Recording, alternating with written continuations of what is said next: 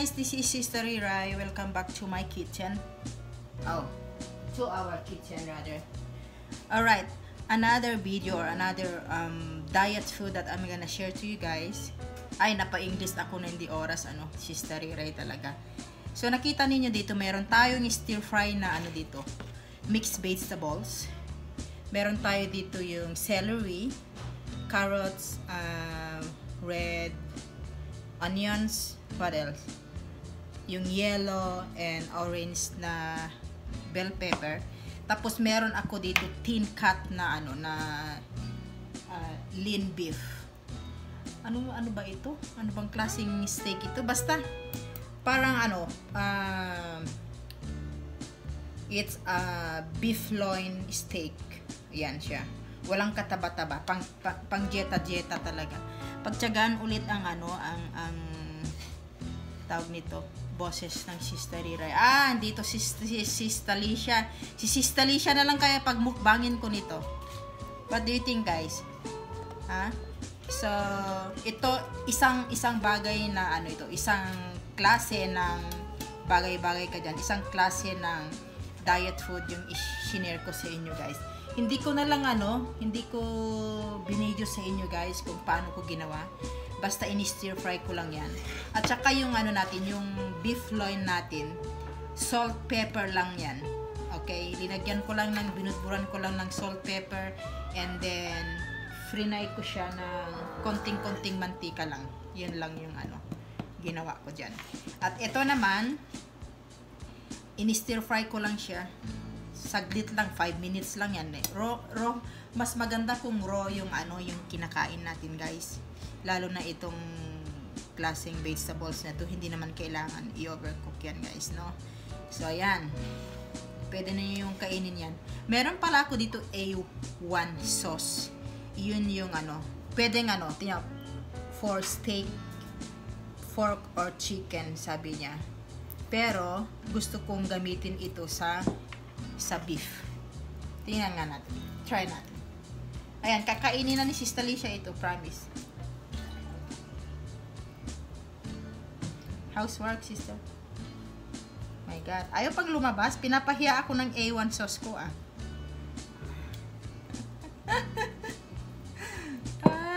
Ay, ayan. So, sabi ko nga, tsaga-tsaga kayo sa magandang boses, sister Riray ninyo, ha. Ayan. Try nga natin. Ayan, yung bite. Mmm. Masarap siya.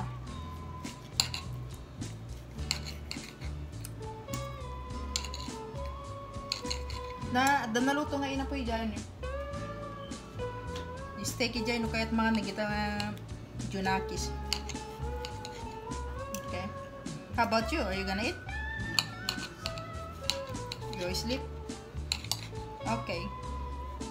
So, ayan. Samahan ninyo ako guys, kakain tayo. Ha? Kakain tayo ng 8, 8 minuto. Kailangan natin ng 8 minuto.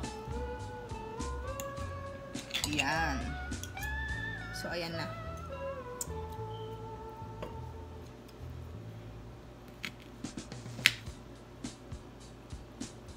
Hmm. Ang sarap ng pagka-stir fry ko ng ano. Huwag nang kumontra. Luto ko ito kaya nasasarapan ako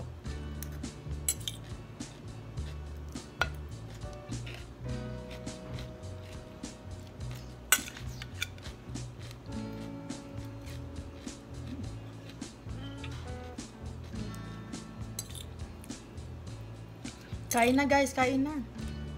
There you go.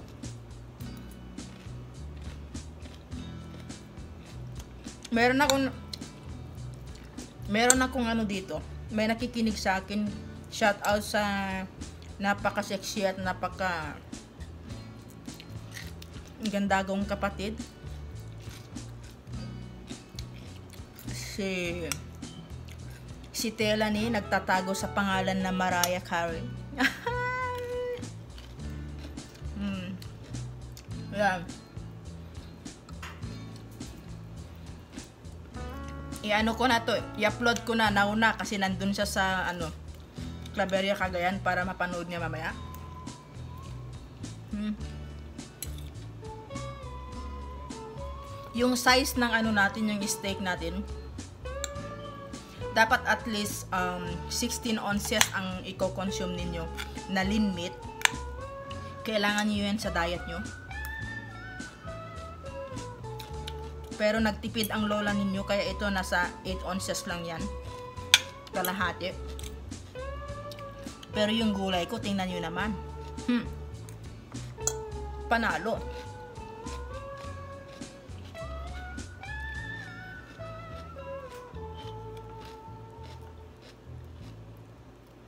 Ayan. Sa mga nagda-diet dyan, pwede nyo gawin ito. Kung ayaw nyo naman, wag na. Wag na lang. Bala kayo, ha? Maraming al- alternative ng ano, diet food, guys. Meron din tayo dito yung maraming may ayaw kasi sabi nila pag diet food hindi daw masarap. Imposible. Lagyan mo ng magic sarap, di masarap na. Huwag ka nga dyan. Hmm? Yung chicken breast. Ang gagawin mo sa chicken breast, guys, mm, hiwain, hiwain mo muna sa, ano, sa gitna. Kung nakalay na, hiwa, hiwain mo lang ng ganyan. Konti lang, ha. Huwag tatagos, ha. I-marinate mo lang yan ng lemon o calamansi. Depende sa asim na gusto mo. Okay? Lagyan mo lang ng asin yan. At saka pepper. Pwede na. Yun yung pinaka-simple na pag-marinate mo lalo na kung pang diet food. Okay? Um, remember guys, what I'm sharing here now is like the usually food that I'm eating when I'm still small. Wag nang kokontra dyan, masasampal ko kung sino kokontra ha. Akala nyo hindi ako naging small? Hmm? Talaga, pasaway. Yun, naniniwala ha. So, ayan. Sa susunod, i-demo ko sa inyo kung paano mag-marinate ng pang-diet na mga lean meat pork man, beef, or chicken. Isali na rin natin yung turkey meat. Hmm? Okay. Thank you guys for watching. Sana natuwa naman kayo sa pagdadaldal ni Sister Riray. Pasensya na kayo ulit ha. Hindi ko alam kung hanggang kailan tayo mag magba-background voice lang ha. Basta mag pag namit ko na yung yung inaasam-asam. Ay, kung anong asam-asam na yan. Alright, Sister Ryan here. Si Sister Lisa ayaw kumain. Matutulog mo daw muna. Uh, thank you guys for watching. Thank you for supporting our videos. And, yeah. I'm always saying, keep safe everyone. Wag nang, wag nang ano, Huwag nang love one another. Kung hindi naman kaya ang love one another, be kind to one another. Sister Rira in here always saying, thank you, thank you, thank you, thank you, thank you so much. See you on the next video. Mama Chup. Mwah!